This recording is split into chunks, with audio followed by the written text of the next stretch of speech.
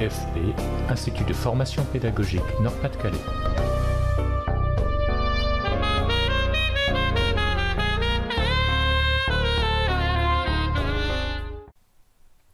Comme tout le monde, le matin, je vais consulter mes mails et parmi ces mails, il va y en avoir qui correspondent à des outils de veille.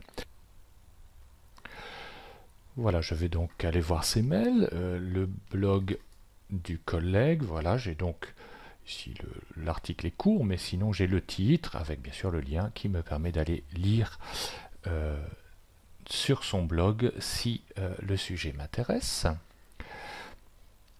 le café pédagogique, eh bien j'ai la liste des articles de l'Expresso du jour avec les liens pour aller directement. Donc ça me permet de, voir, bah tiens, aujourd'hui il n'y a rien qui m'intéresse, ou alors s'il y a quelque chose qui m'intéresse, eh bien je peux aller directement à l'article du café pédagogique, c'est le but hein, de la liste de diffusion.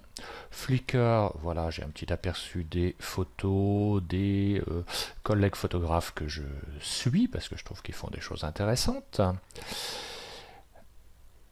Alors Twitter, voilà, donc je sais que, tiens, Bruno, le, mon compte Twitter a été cité dans un euh, tweet. Alors là, c'est un problème récurrent. Euh, il y a un autre Bruno Parmentier qui est spécialiste de l'alimentation. Donc je suppose que le tweet des fermiers de Loué euh, le concerne lui. Donc je vais répondre en disant je ne suis pas celui que vous croyez. Scoopici revient après, Ludovia Magazine, ben, c'est le même principe, hein, c'est une liste de diffusion correspondant à un site web, donc j'ai des liens vers des articles je peux aller lire s'ils m'intéressent. On retrouve Twitter, ah, là par contre c'est des gens que je suis sur Twitter, donc par exemple Marcel Lebrun, je vous recommande, eh bien je vais aller voir ce que Marcel euh, dit sur euh, Twitter. Voilà. Pour résumer, donc ce premier acte du veilleur, c'est euh, par la consultation des mails, être au courant des différents abonnements qu'on a pris, et puis aussi avoir un aperçu de l'activité sur les réseaux sociaux. Je reviens donc sur les mails euh, Scoopit. Donc le premier c'est un mail quotidien qui me propose 4 Scoopit. Donc, euh, Scoopit, c'est une personne, un expert, qui a trouvé une page web, un article de blog intéressant et qui partage cet euh, article de blog ou cette page web. Voilà, donc ici j'ai quatre propositions tous les jours, c'est déjà pas mal. Donc si un, euh, une proposition m'intéresse, par exemple ici Quant, le moteur de recherche qui attaque Google, et eh bien je clique sur le titre et je vais arriver donc voilà sur le Scoopit en question. En cliquant sur le titre de l'article, et eh bien je vais pouvoir aller voir l'article. Voilà, donc s'il m'intéresse, je vais dire par exemple, et eh bien je vais rescouper ce euh, Scoopit, cette, ce favori web, euh, sur mes propres Scoopit. Le deuxième euh, mail de Scoopit, c'est l'activité réseau de Scoopit. Donc voilà, je sais ici par exemple que j'ai un possesseur de compte Scoopit qui s'est abonné à l'un de mes euh, Scoopit, Université secondaire. Donc je peux aller voir qui est euh, ce monsieur. Je vois donc que Frédéric M euh, tient un Scoopit sur le thème Apprendre autrement. Donc je vais aller voir, je consulte, je regarde.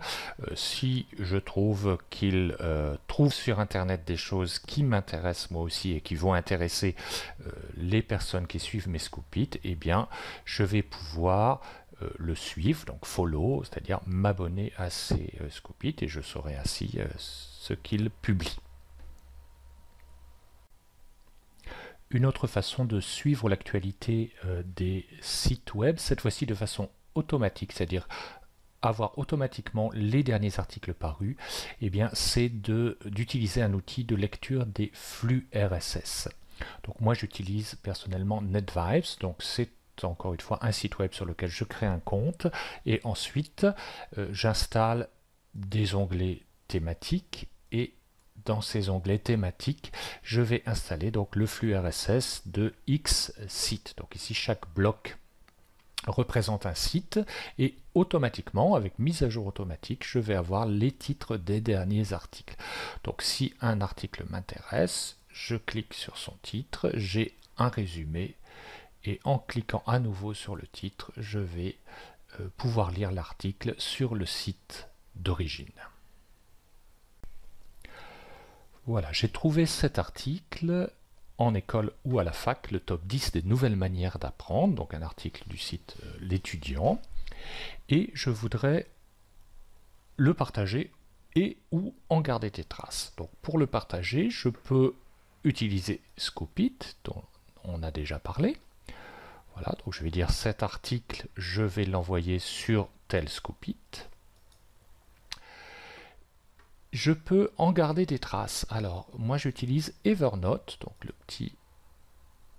Voilà, et donc je vais capturer sous forme de notes soit l'article, alors euh, pour des articles où il y a euh, beaucoup de, distracteurs, comme là les boutons Twitter, etc., qui ne sont pas utiles, par exemple si je veux l'utiliser, le, présenter à des, à des étudiants, eh bien j'ai la possibilité de simplifier l'article, voyez. Donc là, la note que je vais prendre, la trace que je vais euh, garder, c'est uniquement le texte et les, les illustrations, ou je peux au contraire sur certains sites vouloir prendre la page complète, simplement l'URL, la, référence de, l'article, voilà, ou prendre une capture d'écran. Donc ici je vais prendre l'article, je vais dire je le mets dans tel carnet de notes, hein. je peux gérer plusieurs carnets de notes avec Evernote, je vais ajouter une étiquette,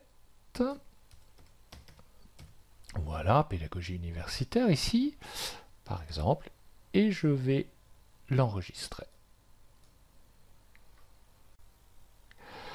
Donc si je lance le logiciel Evernote sur mon PC ou si je consulte Evernote en ligne, eh bien je vais bien retrouver dans mon carnet de notes IFP l'article en école ou à la fac, le top 10 des nouvelles. Voilà, l'article est ici en dessous, je peux le lire, le consulter, le copier, euh, copier-coller. Vous voyez même qu'il y a une interface traitement de texte, je peux même modifier des choses. Et puis, puisque j'ai mis une étiquette, eh bien, je vais, voilà, je l'ai mis dans pédagogie universitaire. Donc, si je prépare une intervention sur la pédagogie universitaire, eh bien, je vais retrouver ici toutes les notes sur la pédagogie universitaire, dont celle que je viens de prendre devant vous. Si je suis dans le cadre d'un travail universitaire, ou bien si je veux être très rigoureux en citant mes sources, eh bien je peux utiliser aussi des outils très pratiques. Donc moi j'utilise RefMe. Voilà, donc je vais dire tu me références cet article.